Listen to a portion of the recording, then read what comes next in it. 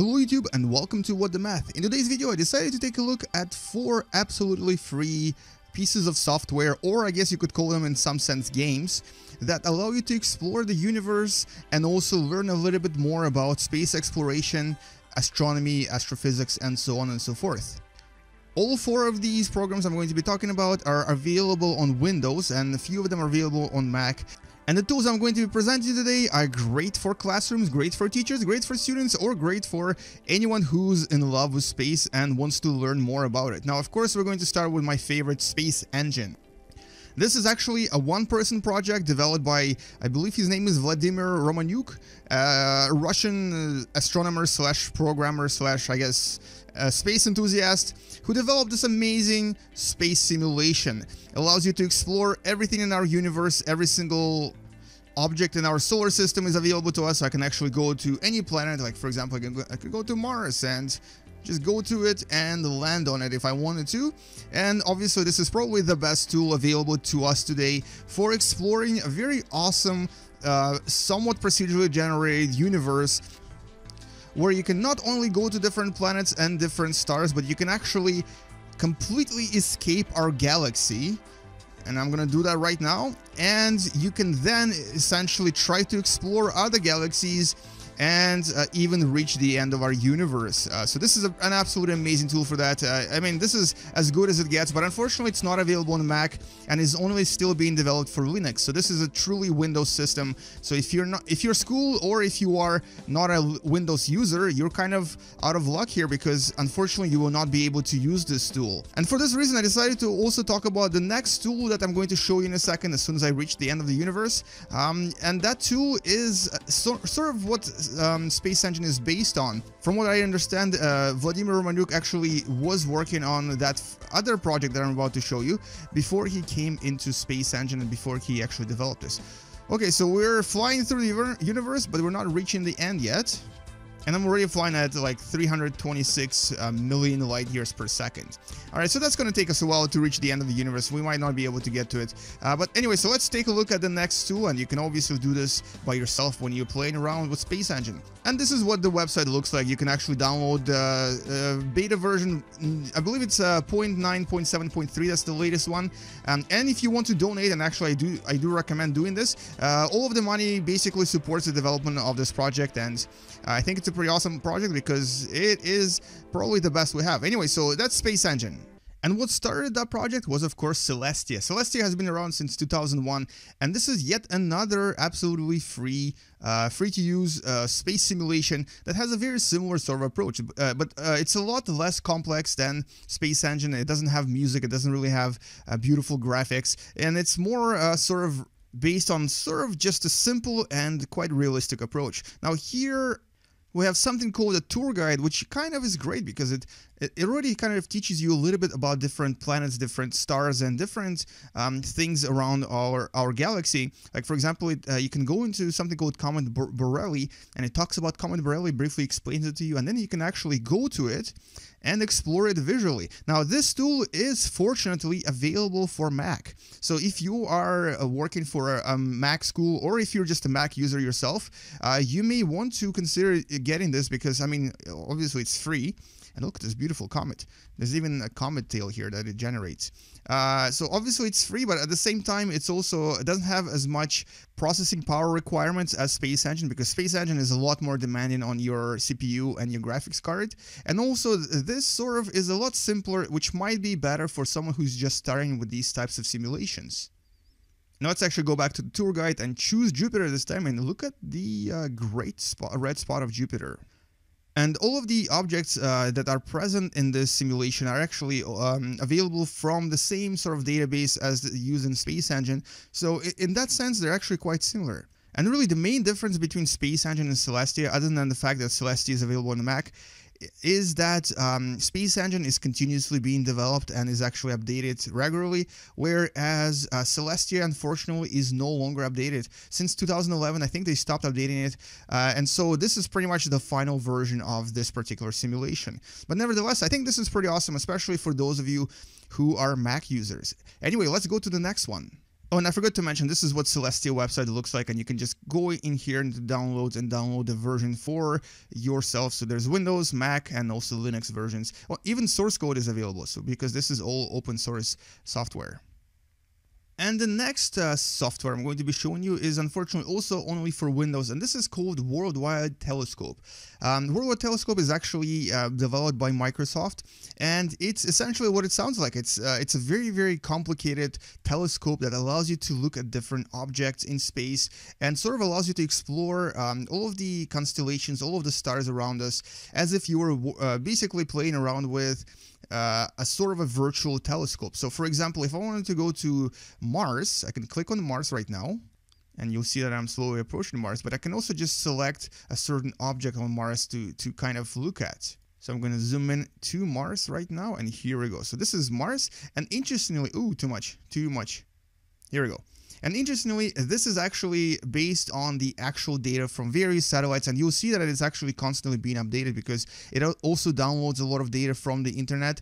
And so a lot of these are actual photos of Martian surface. So this is literally like as if you were looking with an actual telescope on the surface of Mars. Now here, there's a lot of things you can explore. You can obviously try to find the location of uh, several probes that will landed on Mars, or you can try to find the infamous face on Mars.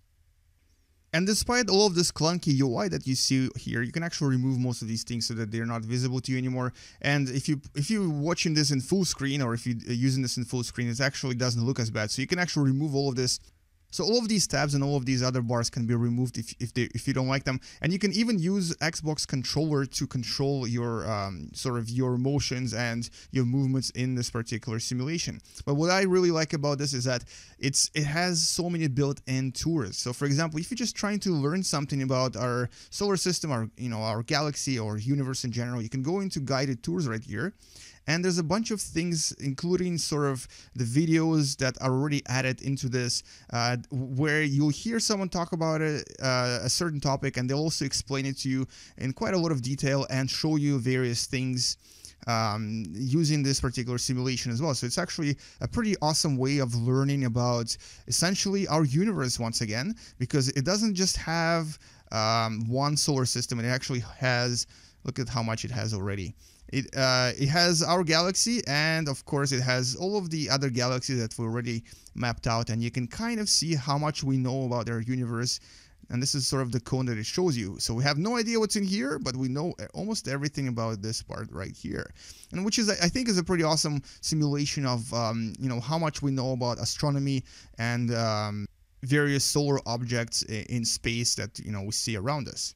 So Worldwide Telescope is actually probably one of the more complex tools that are available absolutely for free, especially for learning. So if you are using um, Windows, because this is unfortunately only for, for, Windows since it's Microsoft, and of course, if you're super interested in things like space, uh, planetary explorations, and all kinds of various uh, topics on astronomy and uh, astrophysics, then you may want to consider getting this because uh, you can basically go to every planet and just take a look at it and learn a little bit ab about it by going into guided tour and then possibly finding the topic that interests you and then uh, playing the video and learning uh, about it that way. And let's actually look up uh, something. Let's. I wanted to see uh, if I can find the face on Mars, but unfortunately I couldn't do it manually. So let's let's try to find it uh, by using this here. And I think this is it. So I'm gonna go to it right now and let's see what we discover here. And is that it? Here we go. So if I were to zoom into it now, I would see the infamous face of Mars.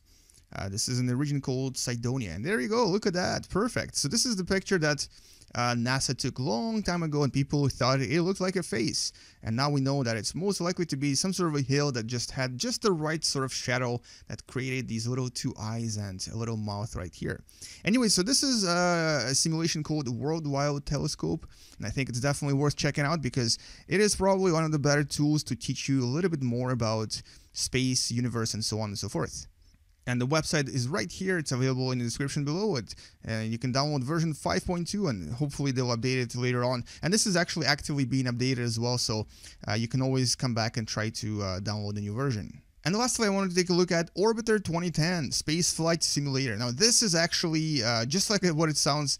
It's a space flight simulator, but it's very, very realistic. Unlike Kerbal Space Program or unlike other space simulators, this one takes it or takes the realism to a completely new level where everything is just as it should be in terms of physics and so on and so forth. There's also a lot of simulations that you can download online because a lot of them have been um, created by the fans of this simulation but I'm just gonna show you one of them. So we, we can go to uh, various uh, folders here. Just uh, you'll see that there's a lot of different missions you can choose from. Um, I want to try something a little bit different this time I'm going to go into Delta Glider here and there's actually quite a lot of different simulations you can choose but I want to choose this one here called, uh, called uh, Venus Descent so this is when a glider is descending um, toward Venus and you'll see what it looks like in a second. And alright, here we go. So we find ourselves in a spacecraft right above Venus. This is sort of what it looks like. You can kind of rotate the view around you and uh, essentially, this is uh, super realistic. It has um, very realistic Newtonian physics. Uh, you have fuel consumption, you have things like uh, drag and pressure and temperature and so on and so forth. And our goal here is to try to land on Venus very, very gently. Uh, now, because this is a very realistic simulation, you'll have um, very realistic panels here as well. Uh, there's actually, this is really complex and it does take a few hours to learn how to use. And I'm still myself quite a beginner in this, but you can actually um, even use uh, these all of these buttons and all of these panels uh, like an actual astronaut by just clicking on them. So uh, if you play through some of these simulations, you can actually just directly uh, press the buttons if you know what you're doing that is. I have no idea what I'm doing, so I'm not going to do that, but I need to actually try to slow down. Uh, there we go. I need to aim toward the retrograde, which I'm going to do uh, hopefully automatically, and then we're going to blast our engines um, and slow down and try to get into um, Eve's at, not Eve. What am I talking about? This is Kerbal, This is not Kerbal Space Program. It's not Eve. Uh, into Venus's atmosphere. Uh, now this is about 280 kilometers above um, Venus. So this is uh, the upper atmosphere of Venus. And so once you get into retrograde position, you can actually blast these engines. And there we go. Hopefully this will slow us down enough so we can start falling down into the atmosphere. I may want to actually watch the fuel here, but um, so oh, run button, run button. This is uh, this is showing various objects in space. Here we go. So the speed right now is shown right here, and it's uh, 6,700 meters per second. And I think this is more than enough. And basically now we're falling into the atmosphere of Venus.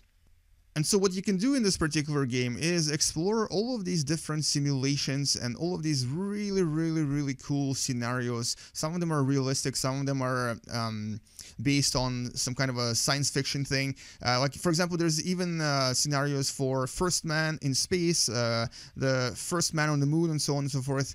And you have to try to do it manually as well, which is actually pretty awesome. So this kind of gives you an idea of how difficult some of these missions were and how difficult it is to do anything in space. It's most of these simulations will make you really struggle and suffer and sweat and so on and so forth. But all in all, this is actually absolutely awesome for completely free. And also, oh yeah, I forgot to mention, you can also change your face. You can actually make this your own face, which is pretty cool. Um, uh, so all in all, this is a pretty awesome uh, free simulation or free software or open source software that's continuously being developed. There's actually a very large community that always introduces new scenarios, for example, here's a scenario that sort of simulates, um, I believe this is from 2001 Space Odyssey, or possibly something similar to it, where you, you have this little spaceship that tries to land uh, not to land, sorry, to dock with, um, what is this, some sort of a space station. So let's see if we can do it, but we probably can't. I'm probably going to crash because I'm going too fast.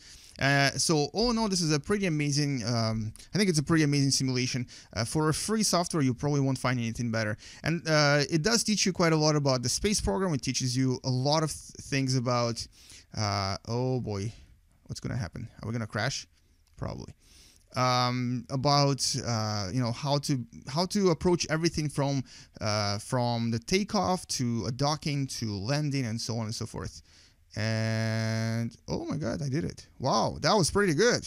I'm very proud of myself right now. So there we go. We just actually docked with the station uh, that's right next to the moon. And this is a pretty cool achievement for myself, even though I didn't really do much because this was a pretty easy simulation. So there's a lot of these uh, scenarios and you can definitely take a look at them. And they will teach you a lot about uh, space and universe space exploration and various missions from NASA, ESA, and uh, Russian uh, Space Agency as well. And this is the website for Orbiter 2010, so you can actually download this from right here. And unfortunately, this is also only available for Windows, but if you do use Windows and you love space, you definitely need to try this. Anyway, so this is all I wanted to show, and thank you so much for watching. Hopefully you enjoyed these four little free simulators that I showed you in this video. And if you did, like this video, and if you haven't subscribed yet, subscribe because there's more space videos coming in the future. And if you're a teacher and you like using various simulations and various um, programs in class, take a look at this list right here that shows you various educational video games that I've reviewed in the past. Thank you for watching and game you later guys. Bye bye.